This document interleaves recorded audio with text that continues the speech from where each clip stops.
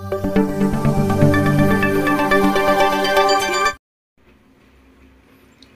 friends, in this video today we are going to solve bridge course pre-test subject general science standard 7th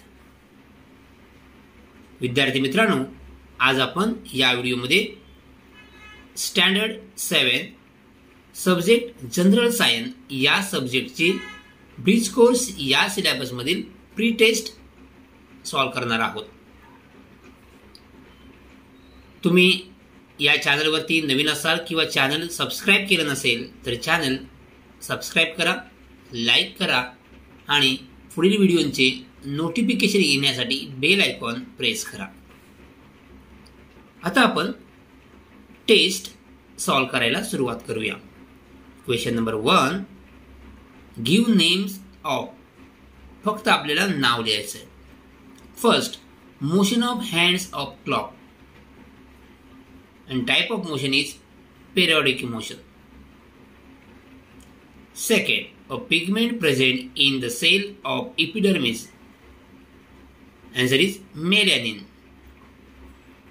Third, force applied by machine is mechanical force. Nutrients, carbohydrates, fats, proteins, fibres minerals first question आपण complete केलेला आहे. Simple आहे. One वनमध्ये answer लिहायचे आहेत. One one वर्डमध्ये answer या ठिकाणी लिहायचे आहेत. फोर मार्क्स मिळतील तुम्हाला. Question number second fill in the blanks again four marks there is a attraction between like oblique unlike we know that There is a attraction between unlike poles unlike poles पोल्समध्ये attraction असतं nickel is a magnetic substance Nickel is a magnetic substance. Metals like silver, gold, copper can be drawn into fine wire.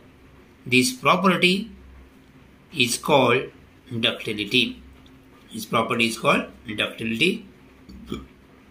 Fourth, substances obtained from living things are called biotic substance. Living things means biotic.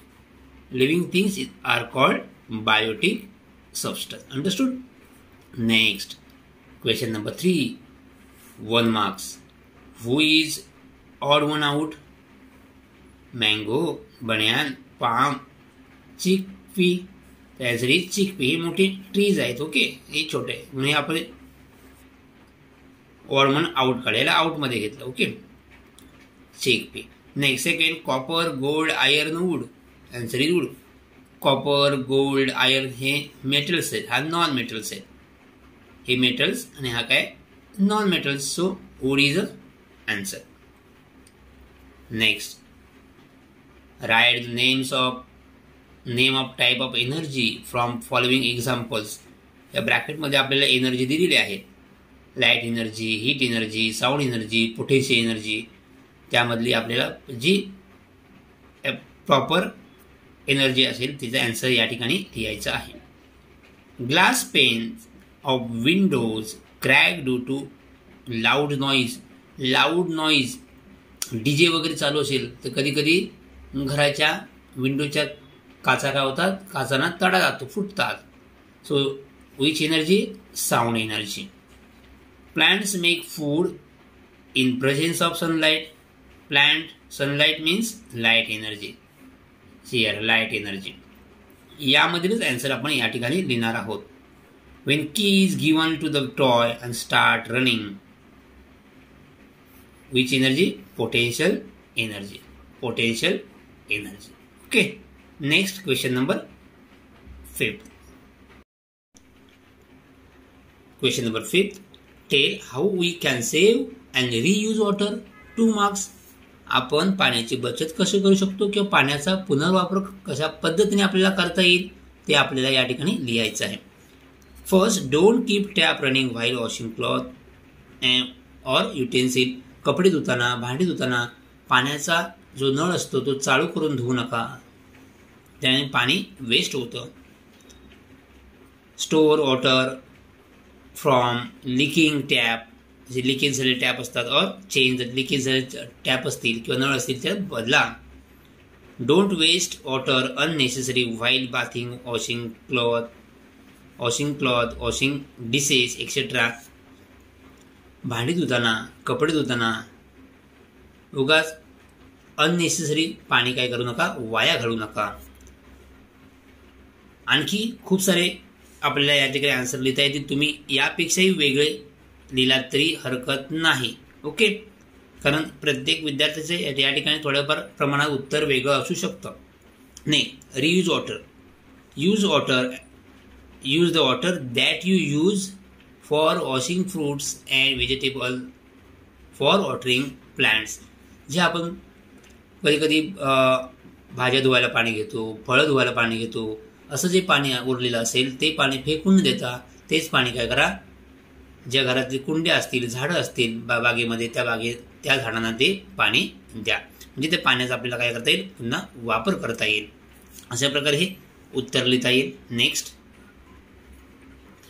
question number six right which vitamin we get from following substance papaya carrot and what happen if there is deficiency of specific vitamin आपल्याला papaya आणि carrot यामधून कोणते vitamins मिळतात? आणि ते जर मिळाले नाहीत तर आपल्याला कोणकोणत्या डिफिशियन्सी निर्माण होतात? हे आपल्याला ॲन्सरमध्ये लिहायचं आहे. तर पपयामध्ये बी नाईन ए व्हायटॅमिन किंवा विटॅमिन असतं. बी नाईन ए व्हायटॅमिन्स असतं. आणि कॅरेटमध्ये ए व्हायटॅमिन्स असतं. ओके ए एस व्हायटॅमिन्स किंवा विटॅमिन म्हणतो आपण. कॅरेटमध्ये ए आणि पपयामध्ये बी नाईन. हे या ठिकाणी बी नाईन मी दिलेलं आहे. B nine. ओके. या ठिकाणी दिलेलं आहे बी नाईन. आता anaemia improper growth due to deficiency of B nine या ठिकाणी आन्सर बी नाईन नाईन करून घ्या. मी चुकून बी ट्वेल्स लिहिलेले होते ओके? बी नाईन करेक्ट आहे. याप्रमाणे. बी नाईन ओके जे बी कॉम्प्लेक्स जे विटॅमिन्स आहे बी वन बी टू त्यातलं हा बी नाईन पुढे anaemia in proper growth anaemia in proper growth due to deficiency of B nine vitamins next carrot A जर proper आपल्याला मिळालं नाही तर कोणता आजार होतोय?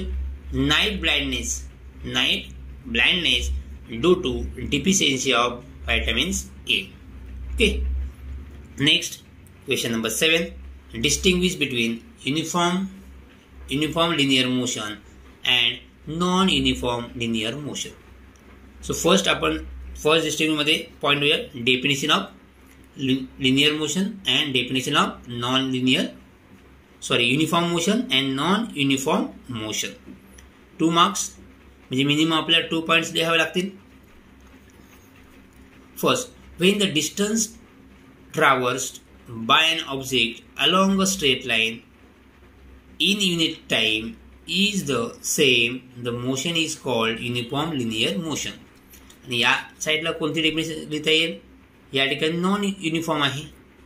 So when distance ट्रा transversed by an object along a straight line in unit time keeps on changing यामध्ये distance काय होते? कीप ऑन चेंजिंग या ठिकाणी सेम आहे.